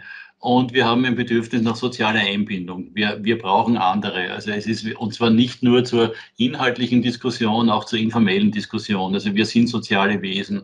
Und gute Jobs sind die, die diese vier Grundbedürfnisse erfüllen. Gut sowohl für die Mitarbeiter und Mitarbeiterinnen als, als auch natürlich für die Produktivität und für die, für die Qualität des Outputs. Und, die, und ich, mir wird immer mehr klarer über meine ganze Forschungszeit, dass es diese Kriterien sind, die man immer wieder anlegen kann an alle diese Tätigkeiten. Und da kommt man zu keinen einfachen Lösungen, weil diese Bedürfnisse auch im, im Wettstreit miteinander stehen. Aber man hat sowas wie ein, ein, ein, ein normatives Schema, wo ich sagen kann, das ist okay, weil diese Bedürfnisse, das ist vielleicht der letzte Punkt noch, sollten dann auch alle erfüllen können oder die Möglichkeit haben. Also die sollten nicht zu einer Polarisierung beitragen, in dem Sinne, dass die guten Jobs nur für 10 Prozent der Bevölkerung in Frage kommen, sondern diese, das sollte eigentlich alle betreffen. Das wäre dann noch diese, die letzte Anforderung einer, einer guten Arbeit. Äh, ja. Herr Gleisner, bitte. Ja, äh, danke schön. Ich, ich wollte noch vorher was ergänzen. Ähm, zunächst einmal, ähm, ich habe den ganzen Berg mal nicht gelesen, ich weiß aber ungefähr, worum es geht. Ich glaube nicht, dass er selbst den Kapitalismus abschaffen wollte. Ich glaube durchaus, dass er auch äh, produktive Unternehmen bei seinem Modell vor Augen hatte. Nicht nur glückliche Mitarbeiter, sondern auch produktive Unternehmen, weil er sehr wohl weiß, dass die Grundlage für einen Sozialstaat, für gute Jobs auch funktionierende produktive Unternehmen sind. Deswegen bin ich persönlich auch Anhänger einer sozialen Marktwirtschaft und glaube auch nicht, dass die durch irgendwelche anderen Schlagworte abgelöst werden kann. Ähm, als, als Jurist sehe ich es jetzt nicht als meine Aufgabe, jetzt Unternehmen zu sagen, wie sie ihre Unternehmen führen sollen. Ich selbst bin auch der Auffassung, dass man in, in der modernen Arbeitswelt den Mitarbeitern vertrauen sollte, dass sie im Homeoffice durchaus auch produktiver sind als sogar im Büro. Allerdings möchte ich jetzt auch nicht in diese Pauschalurteile verfallen, weil es genauso gut umgekehrt sein kann. Ja, bei den Schülern sieht man es auch, die verlieren an Motivation, wenn sie nur zu Hause sitzen und den Lehrer vielleicht nicht einmal am Bildschirm sehen. Äh, Mitarbeiter sind natürlich in der Regel erwachsen, aber da agiert auch nicht jeder, jeder wie der andere. Also da darf man nicht pauschal urteilen. Ähm, ich glaube aber, dass ähm, wenn eine Wirtschaft gut funktioniert, dass sie auch die Bedürfnisse der Mitarbeiter erfüllt. Was will ich damit sagen? Wir sehen zum Beispiel in den letzten Jahren und Jahrzehnten, dass die durchschnittliche Arbeitszeit in Österreich stetig gesunken ist. Wir arbeiten heute, jetzt blende ich einmal Corona aus, ähm, ähm, unabhängig von der Krise wesentlich weniger Überstunden als vor 15 Jahren. Es gibt wesentlich mehr Teilzeitbeschäftigte als vor 15 Jahren und das entspricht den Präferenzen der Menschen. Denn äh, man führt ja auch immer Erhebungen durch, wie zufrieden die Menschen mit ihrer Arbeitszeit sind, ob Teilzeit insbesondere freiwillig ist oder nicht. Und in Ländern wie Österreich oder Holland ist sie zum überwiegenden Teil freiwillig. In Ländern mit hoher Arbeitslosigkeit ist es eine verdeckte Arbeitslosigkeit wie in Spanien und in Griechenland und ist Teilzeit großteils unfreiwillig. So, das heißt, einerseits ähm, sinkt die tatsächliche Arbeitszeit, andererseits eine produktive Wirtschaft sorgt auch für steigende Einkommen, die dann auch dem Arbeitnehmer die Möglichkeit geben, die Arbeitszeit reduzieren und jetzt äh, zu reduzieren. Und jetzt komme ich zum letzten Punkt. Ähm, wie gesagt, die Krise überlagert das. Wir haben ja vor der Krise schon einen massiven Fachkräftemangel gesehen, der rein demografiebedingt in den nächsten ein, zwei Jahrzehnten noch massiv zunehmen wird. Wir wissen warum. Die Babyboomer gehen in Pension und wesentlich schwächere Arbeitsjahrgänge äh, rücken hier nach. Und das führt natürlich auch, glaube ich, zu einer gewissen, wie soll ich sagen, Änderung der Situation am Arbeitsplatz. Ich bin auch davon überzeugt, dass äh, wenn wir diese Krise überwunden haben, äh, Unternehmen auch mehr tun müssen, um Mitarbeiter zu gewinnen, um sie an sich zu binden, dass hier das Thema Homeoffice, das Angebot von Homeoffice eine wichtige Rolle spielt, äh, dass Unternehmen auch lernen müssen, auf Distanz zu führen und dass das zum Beispiel auch ein Weg sein kann, um Fachkräfte an sich zu binden. Ja? Also wenn ich jetzt zum Beispiel, keine Ahnung, in Salzburg oder wo keine Fachkräfte finde, warum sollte ich nicht Mitarbeiter haben, die in, wie in Wien sitzen? Ja, und nicht hin und her pendeln, weil das ist unzumutbar. Also hier bieten sich Perspektiven, die, glaube ich, auch den Mitarbeitern helfen und den Vorstellungen, die hier im Raum stehen von New Work, zumindest einmal entgegenkommen. Das ist sicherlich ein guter Punkt, da New Work sicherlich auch Chancen für die Mitarbeitenden bietet. Wo würden Sie die sehen? Frau Schitter, darf ich Sie vielleicht bitten?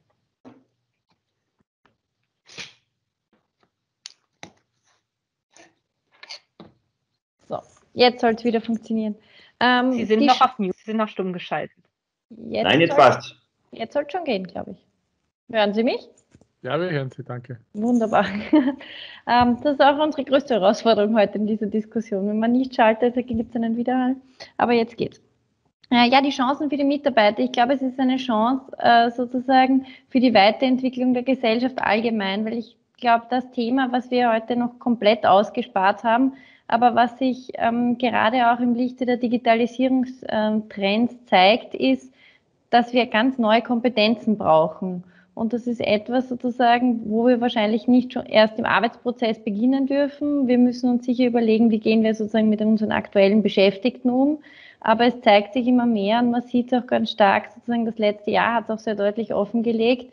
Ähm, auch unser Bildungssystem ist durch diese Krise wachgerüttelt worden und sozusagen die Chancen, die wir haben, ist, glaube ich, dass wir einfach auch unsere Kompetenzen sehr viel mehr in Richtung, wie können wir sozusagen diese ganze Analytik äh, verstärkt äh, vermitteln, auch dieses Thema Selbstorganisation. Also unser Bildungssystem ähm, motiviert Menschen in der Regel nicht wirklich dazu, sich selbst zu organisieren. Es ist teilweise sehr, sehr viel vorgegeben und ich glaube, das ist eine Chance, dass wir jetzt sozusagen diesen diesen Moment auch nutzen, ähm, daran zu denken, dass wir sozusagen vom menschlichen Bild her auch ins Bildungssystem genau das hineintragen, was wir möchten, dass die Menschen sozusagen selbstständiger, eigenverantwortlich agieren können, weil nur so können sie, glaube ich, dann auch diese Freiheiten, die es geben kann und die uns auch sozusagen die neuen Trends ermöglichen, auch wirklich einsetzen können.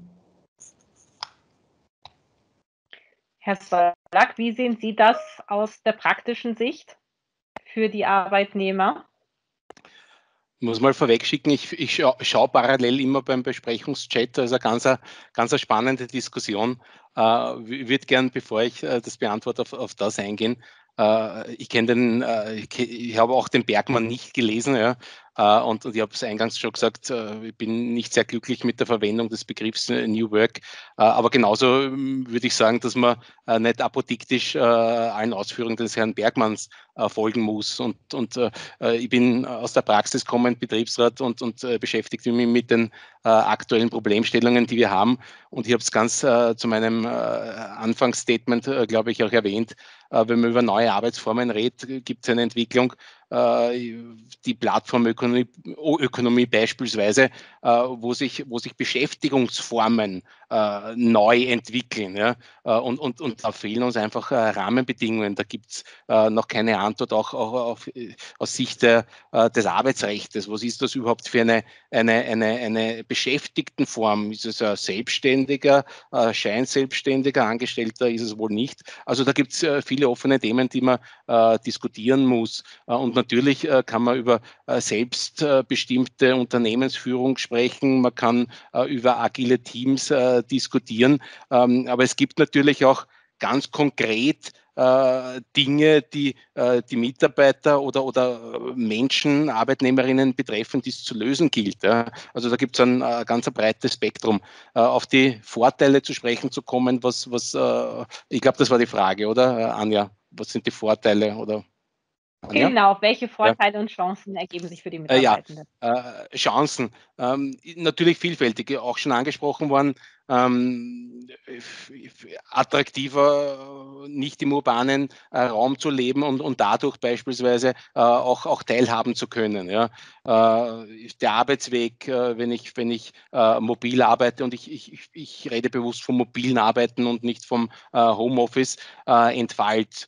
vielleicht, wenn man hybride Arbeitsformen findet und sagt, man fährt nur noch einmal oder zweimal die Woche ins Unternehmen. Aber überall dort, wo es Chancen gibt, gibt es natürlich auch Risiken. Äh, Chance ist natürlich, und, und äh, das hat die Frau äh, Schitta schon gesagt, dass man viel einfacher auch zu äh, zu, zu, zu Wissen kommt. Ja. Äh, eine Chance ist auch dieses zu nutzen, die digitalen Formen zu nutzen, um einfach äh, sich weiterzuentwickeln, persönlich dazu zu lernen. Das Risiko dabei ist natürlich auch, dass man die Gruppen, die diesen Zugang nicht haben, verliert. Also das ist auch durchaus eine gesellschaftspolitische Fragestellung, die, man, die man diskutieren muss und, und wo man nicht oder wo man darauf achten muss, dass man die, die Bevölkerung oder die Arbeitnehmer nicht in, in zwei Klassen gliedert. Diejenigen, die die digitale Transformation mitgestalten, partizipieren können, aktiv äh, das nutzen können zu ihrem Vorteil und diejenigen, die als Verlierer sozusagen nicht mehr mitkommen mit, der, mit dem digitalen Wandel. Das ist ein wichtiger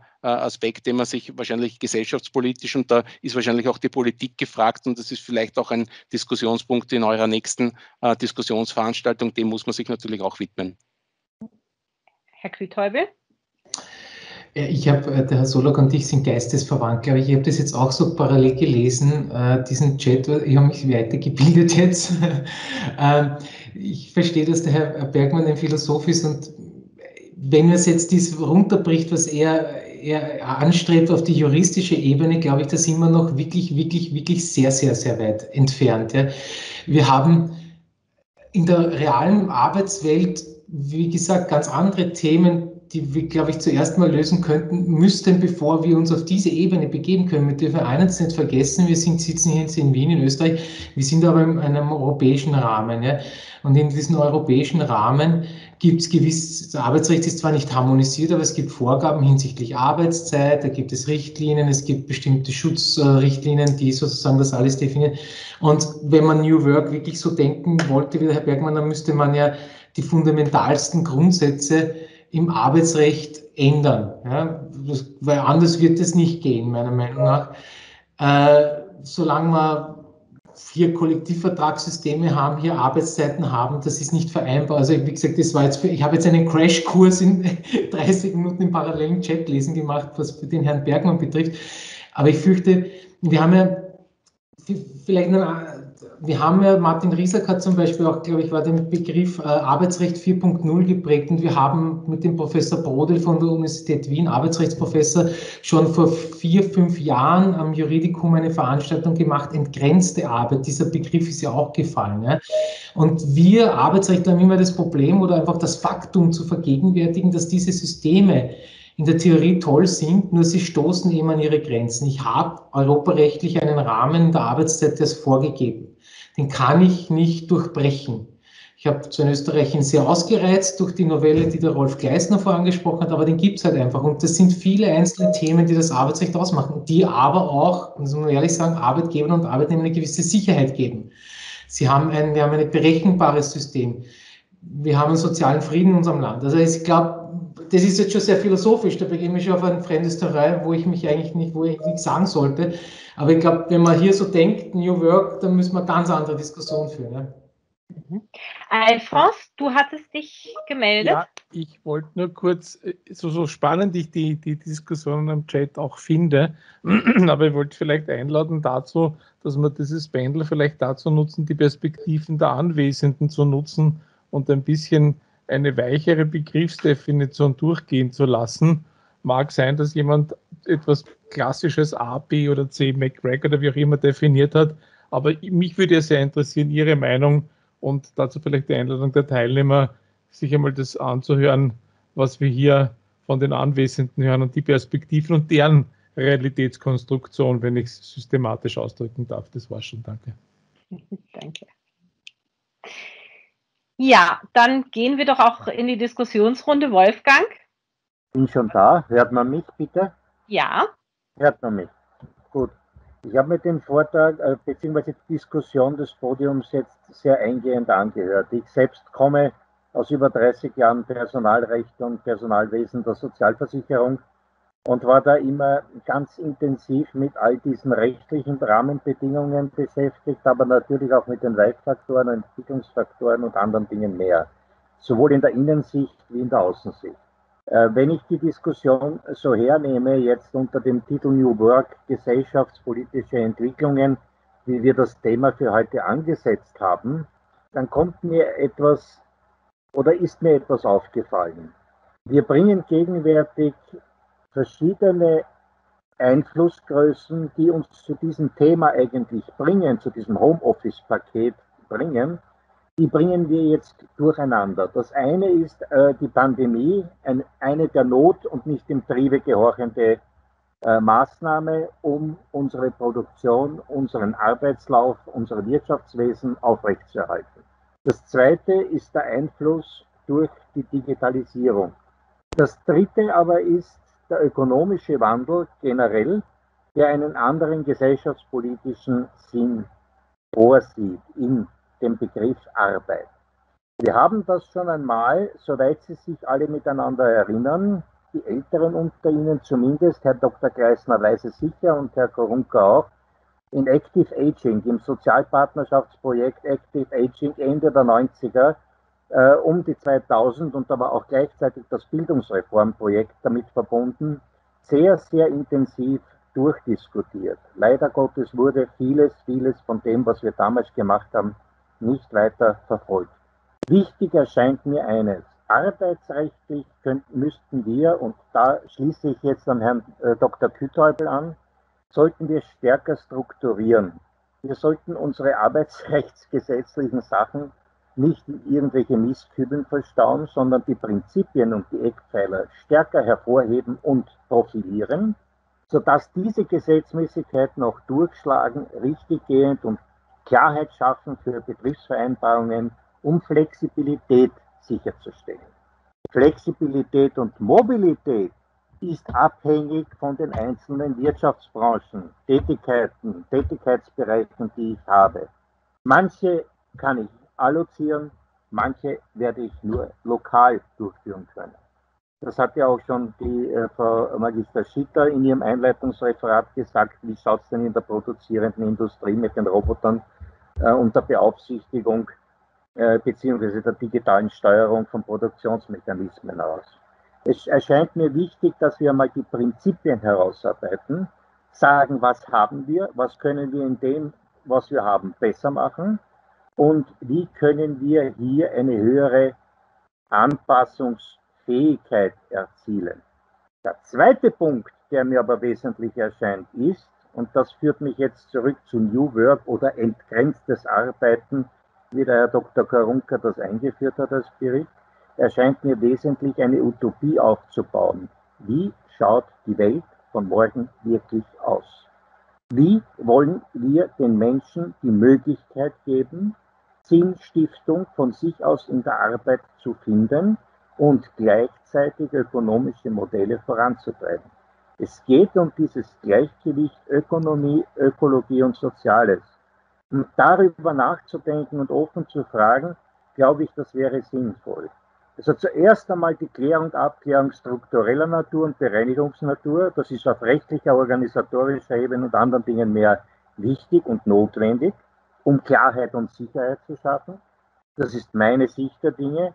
Und dann würde ich mich einer Utopie widmen, um de facto zu sagen, gehen wir bitte doch in eine andere Richtung. Denn wir haben sehr viele Menschen und äh, diese Menschen sind unterschiedlich strukturiert. Manche sind selbstständig eigenverantwortlich denken, manche brauchen die Führung, Manu an der Hand führen. Und wie führen wir die ganze, äh, diese Leute in eine neue Arbeitswelt, dass sie auch den Sinn für sich in der neuen Arbeit entdecken? Entschuldigen für das Co-Referat. Ziehe mich wieder zurück. Danke für die Aufmerksamkeit. Danke dir, Wolfgang.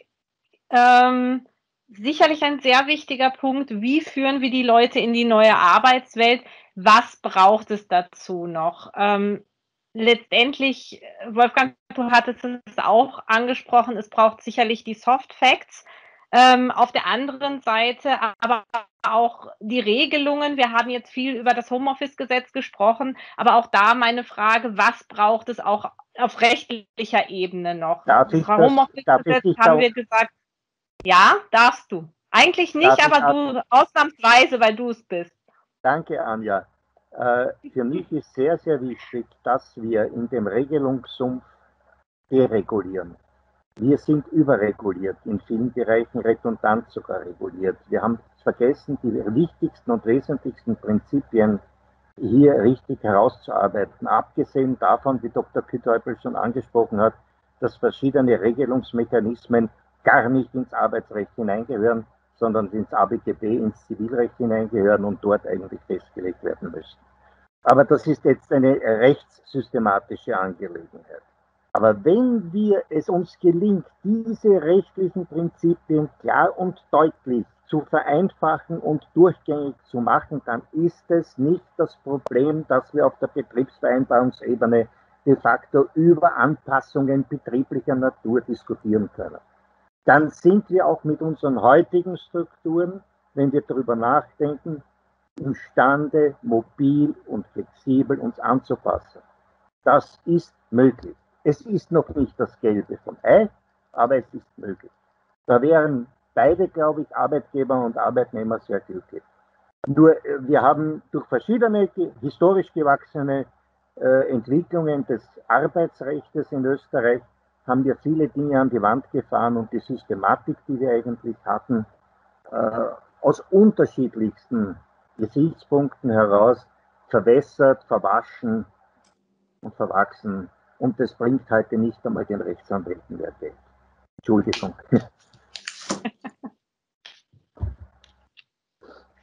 Danke dir, Wolfgang. Bitte. Ähm, ja, Vielleicht können wir das auch ähm, als spannende Abschlussrunde nehmen, eben darauf zu antworten, äh, was der Wolfgang Kecke uns da mitgegeben hat. Ähm, ist es so? Was braucht es noch? Ähm, in rechtlicher, aber auch äh, sicherlich äh, in anderen Gesichtspunkten, damit wirklich New Work umgesetzt werden kann. Herr Sollack, fangen wir vielleicht bei Ihnen an. Danke.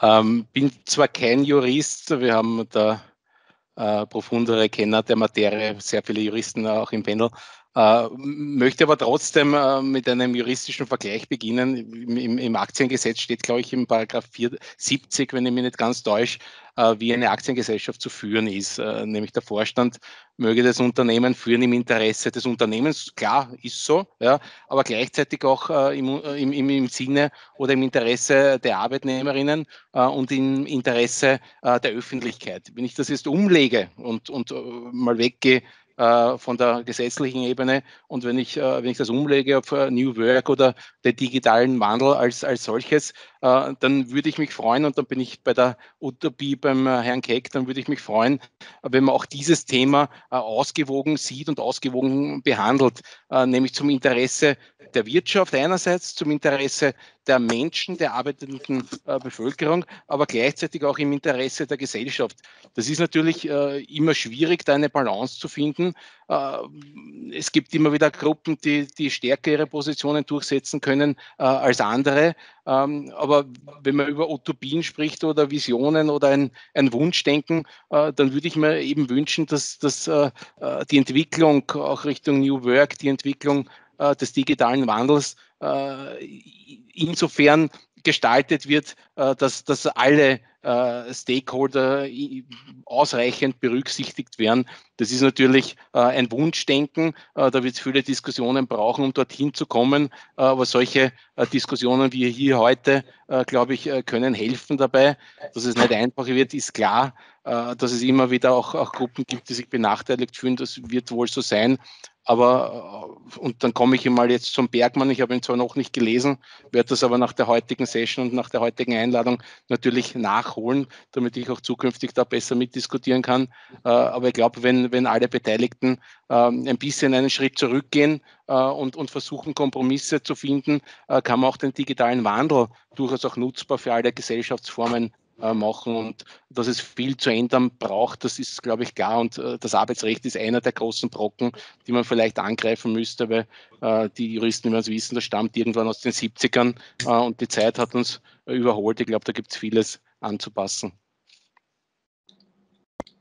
Dankeschön. Herr Gleisner, darf ich Sie bitten? Äh, ja, gern. Äh, das waren jetzt äh, sehr viele Bälle in der Luft, die wir hier auffangen sollten. Also zunächst einmal äh, bin ich ein Jurist, glaube aber trotzdem nicht daran, dass man Glück oder auch Sinn herbeiregulieren kann. Ja, da gibt es kein Glücksgesetz, das wir jetzt entwickeln können und dann sind alle happy und in der Welt von der New World angekommen. Äh, das geht, glaube ich, nicht ganz im Gegenteil. Ich bin immer irgendwie so skeptisch aus historischen, wie soll ich sagen, Erfahrungen heraus, wenn jemand von Utopien spricht äh, oder Experimente wagt mit so etwas Wichtigem wie unserer Volkswirtschaft oder auch dem Sozialstaat. Ähm, ich glaube aber, dass gute Rahmenbedingungen die Ziele, die New Work verfolgt, begünstigen. Ich habe das schon eingangs gesagt, dass wenn der Arbeitsmarkt mir als Mitarbeiter oder als, als Mensch die Möglichkeit gibt zu wählen ähm, zwischen verschiedenen Jobs, dann kann ich mir den aussuchen, der meinen Wünschen am ehesten entspricht, der vielleicht die Sinnfrage klärt, der mir das höchste Einkommen verschafft. Ich habe grundsätzlich diese Freiheit und das ist gut, dass die Marktwirtschaft das verschafft. Die Marktwirtschaft ist, glaube ich, ein System, das äh, Unternehmen zur Produktivität zwingt und das im Ergebnis dann recht hohe Einkommen auch hervorruft. Auch das schafft Freiraum für Mitarbeiter und Wahlmöglichkeiten und kommt, glaube ich, den Zielen von New Work entgegen. Äh, wenn der Herr Keck gesagt hat, wir sind überreguliert, dann werde ich als Vertreter der Wirtschaft nicht widersprechen. Ja, ein Unternehmer muss, ähm, hier haben wir einen Kodex, aber ein Unternehmer muss 20 solche Kodizes befolgen, ist aber kein Jurist ich sage immer, wenn einer wüsste, was er alles befolgen muss, wird er Kopf wegkriegen und wahrscheinlich nicht Unternehmer werden. Ähm, auf der anderen Seite leben wir in einer komplexen Welt und können nicht so einfach Regeln über Bord werfen. Ähm, aber ich glaube, dass mit dem Homeoffice-Gesetz, das viele Erwartungen enttäuscht hat, eine, schrank, eine schlanke Re Regelung gefunden wurde äh, und, und keine Überregulierung. Und zusätzliche Rechtssicherheit werden wir nächste Woche schaffen, weil da haben dann die Sozialpartner eine Mustervereinbarung für die Betriebe und für Betriebsvereinbarung, für Einzelvereinbarung, die man dann auch äh, zur Umsetzung anwenden kann. Also äh, noch einmal abschließend, ich glaube, dass äh, unser Streben, gute Rahmenbedingungen für Unternehmen und Mitarbeiter zu schaffen, letztlich allen entgegenkommt, auch vielleicht diese Wünsche indirekt erfüllt. Ich bin sehr skeptisch, wenn es darum geht, jetzt im direkten Weg irgendwas herbeizuregeln. Äh, letztes Wort noch, ähm, äh, ich will es nicht so breit machen. Wir haben die unterschiedlichen Trends, Digitalisierung, wir haben Internationalisierung, Mobilität. Wir haben auch hier natürlich einen Regelungsbedarf. Was ist, wenn einer in Südtirol sitzt, mein dislozierter Mitarbeiter und mir zuarbeitet? Was gilt dann im Steuerrecht oder im Sozialversicherungsrecht oder im Arbeitsrecht? Da haben die Juristen eh noch einige Hausaufgaben zu erfüllen. Das ist auch ein Megatrend, die Internationalisierung. Ein Megatrend ist auch die Alterung. Ja, hier geht es für uns auch letztlich darum, dass wir es schaffen, auch mehr Menschen ins Erwerbsleben zu bringen. Da geht es nicht nur um Zuwanderung, da geht es auch um Qualifizierung, um Vereinbarkeit von Beruf und Familie, um, um, um länger arbeiten und zwar gesund arbeiten und um die entsprechenden Regeln am Arbeitsmarkt. Also ich will es jetzt nicht zu breit machen. Ich, ich will nur sagen, dass wir an diesen Themen arbeiten und dass die entscheidenden Akteure hier sehr wohl vertreten sind, weil wir natürlich ähm, praktisch jedes Thema gemeinsam mit Sozialpartnern und mit der Regierung bearbeiten. Danke. Dankeschön. Herr Kütäubel, darf ich Sie um ein Schlussstatement bitten? Ich habe die Wortmeldung auch äh, sehr interessant gefunden, habe auch jetzt im Chat eine sehr interessante Wortmeldung äh, gelesen von der Frau Strom und würde gerne da auch Stellung nehmen. Zuerst zu diesem wirklich wichtigen Punkt, dass die Arbeitnehmer ja unterschiedlich ticken. Ja? Wir haben Arbeitnehmer mit unterschiedlichen Bedürfnissen, äh, die Karriere machen wollen, die Geld wie Heu verdienen wollen, die, die sich verwirklichen wollen. Es gibt wirklich unterschiedliche, die, die, die, die Führung wollen, durch die, die Manuduktion, wie es so schön gesagt wurde. Äh, das versuchte das Arbeitsrecht dadurch äh, zu berücksichtigen, dass es sozusagen den Arbeitnehmer definiert als jemanden, der unter einer Weisungsgebundenheit als wirtschaftlich schwächere Partei eines zivilrechtlichen Vertrages agiert und ich muss ihn schützen in einer gewissen Weise. Ja. Und weil hier die Frau Stromer gesagt hat, wir stecken da teilweise in der Haltung des Industriezeitalters mit stempelten und weisungsgebundenen Arbeiterinnen fest das, ja, das stimmt, das ist aber auch so. Der Arbeitnehmer ist halt der wirtschaftliche Unterlegene und das sage ich als Arbeitgebervertreter. Ja, das ist so und dann ist es absolut sinnvoll, dass der auch geschützt wird. Da kann man natürlich immer dann streiten, Rolf, äh, und Herr Soller über den, den, die, die Grenze, wie weit das gehen soll. Da werden sie unterschiedliche Ansichten haben. Das ist ja auch das Spannende, warum wir alle so gern Arbeitsrecht machen ja, nicht, nicht Verschmelzungen im Unternehmensrecht. Aber da, das ist einmal der Grundgedanke, eine, ist, glaube ich, eine Illusion zu sagen, dass ich Arbeit so organisieren kann, dass, dass sozusagen Arbeitnehmer völlig frei, ohne Grenzen arbeiten können. Das wird meiner Meinung nach nicht spielen in dieser Welt. Ja. Äh, das, das, das ist, glaube ich, das wäre ein tolles Ziel, aber das ist jetzt nicht, meines Erachtens, da bin ich vielleicht zu sehr realist, also das, das, das, das ist nicht erreichbar. Weil eben einer, der hat das Geld, der das Unternehmen, der andere hat das Unternehmen und das Geld nicht. Ja. Und ich habe das zum Beispiel mal durchdiskutiert beim Thema Arbeitszeit, weil das ja auch immer fällt. Ja. Wir haben ja ein Arbeitszeitgesetz, das für alle Branchen gleich gilt, mit einer Höchstarbeitszeit, mit Flexibilisierungsmöglichkeiten in sich Gleitzeit, Durchrechnung. Ich habe mir mal das Video überlegt, na, was wären, wenn wir unterschiedliche Arbeitszeitgesetze für unterschiedliche Branchen machen würden? Ja? Also für die, die Kreativbranche, da kann man flexibel regeln, wie man will. Äh, für den für den, für den, für den klassischen Blue-Collar-Worker gibt es eher starre Regeln, weil der, der hat halt seinen, seine genaue Schicht und so weiter und so fort. Das ist das wäre zum Beispiel ein Ansatz, vielleicht, wo man mal in eine Richtung denken könnte. Aber da, glaube ich, sind wir in Österreich, solange es sozusagen Kollektivverträge gibt, ist das nicht realisierbar, weil sozusagen hier eine politische, einfach ein faktisches politisches Verhältnis besteht, wo der Gesetzgeber sagt, in Österreich tun nur einen gewissen Rahmen hergeben und die Kollektivvertragsparteien können dann flexibilisieren innerhalb dieses Rahmens. Also das müsste man selbst diese Frage schon müsste man radikal das gesamte Rechtssystem, unser gesamtes gesellschaftspolitisches System umdenken. Daher, ich will alle die Diskutanten mit den Herren Wortmeldungen, ich habe das wirklich toll gefunden, aber das ist, leider muss ich sagen, glaube ich, wird das, wird das, wird das äh, so nicht realisierbar sein in unserem Rechtssystem. Da müsste man wirklich von Grund auf alles überdenken. Dankeschön. Frau Schitter.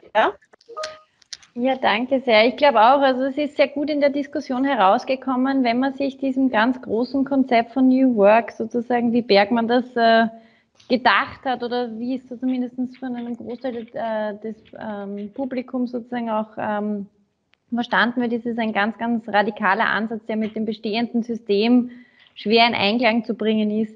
Ich würde deswegen lieber gerne noch einmal beim bestehenden System ansetzen und sozusagen beginnen, hier weiterzuentwickeln, weil wir das sozusagen kurzerhand sozusagen auch für sowohl die Unternehmen als auch die Beschäftigten der naheliegende Ansatz ist, weil wir wollen ja sozusagen aktuell ähm, die Situation bewerten und weiterentwickeln.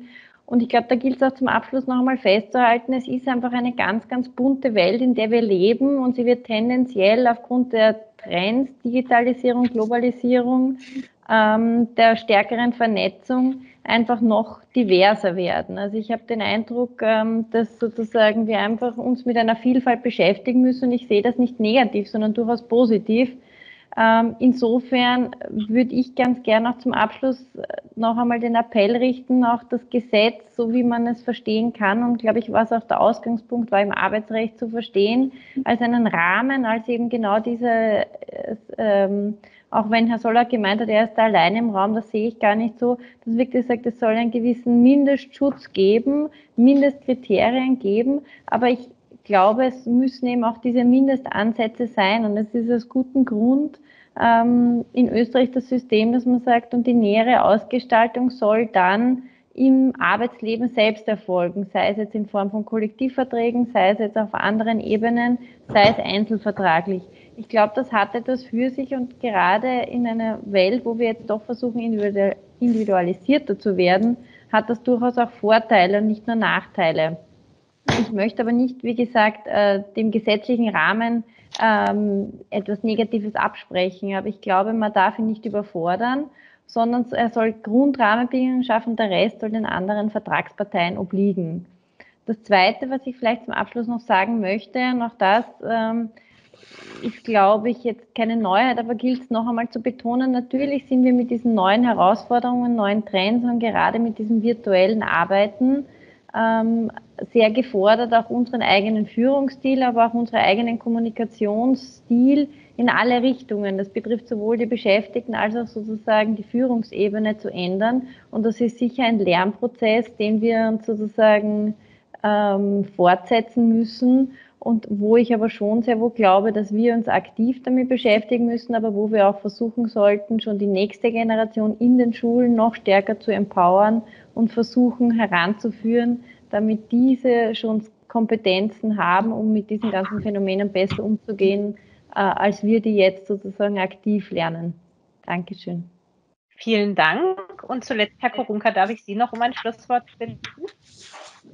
Ja, äh, äh, gerne dass das eine ist, ich teile nicht den Pessimismus von denen, die ich da im Chat auch so verfolge, weil ich das auch ganz spannend finde eigentlich. Also ich glaube, also es, es gibt viele Befunde, die einfach zeigen, die Arbeit ist nicht, schlecht, ist nicht schlechter geworden. Sinn war schon immer ein Kriterium. Es gibt, es gibt Studien über die Jahrzehnte Arbeitszufriedenheit und so weiter. Also der Pessimismus ist unbegründet. Gute Arbeit ist gute Arbeit, wenn sie gute Arbeit ist im Sinne von Sinnhaftigkeit, Vertrauen und all diesen Dingen, die wir, die wir besprochen haben. Und das wird auch für die Zukunft so sein, würde ich meinen. Das ist noch einmal dieser Appell, sich an solchen äh, Kriterien zu orientieren, wie eben Sinnhaftigkeit. Aber die findet man in vielen Formen. Das braucht man nicht, New Work nennen. Ähm, ich teile aber auch das Unbehagen äh, derer im Chat, dass es eine, eine, faszinierende Diskussion war, wo wir faszinierend am Thema vorbeigesprochen haben. Wir haben weder, weder miteinander gesprochen, wir haben irgendwie versucht, mit Recht die Sinnfrage zu klären und ich denke, das geht alles nicht. Also das war ein Beispiel, wie wir einfach dort, nicht hinkommen. Das, diese Unzufriedenheit möchte ich am Ende nochmal noch mal äußern, weil ich glaube einfach, man kann über über die Arbeit als Sache sprechen, man kann über Trends sprechen, man muss die auch begrenzen, sonst wird es beliebig. Und das Recht ist, ist aus, aus, meiner Sicht quasi, das stellt einen Rahmen dar, aber das, das, kann uns nicht retten, das funktioniert so einfach nicht. Das kann uns absichern in gewisser Weise, aber in dieser Verbindung ist es eine fruchtlose Diskussion. Sorry. Dankeschön. Dann würde ich jetzt nochmal ähm, die Runde eröffnen und bitte um Fragen und Diskussionspunkte.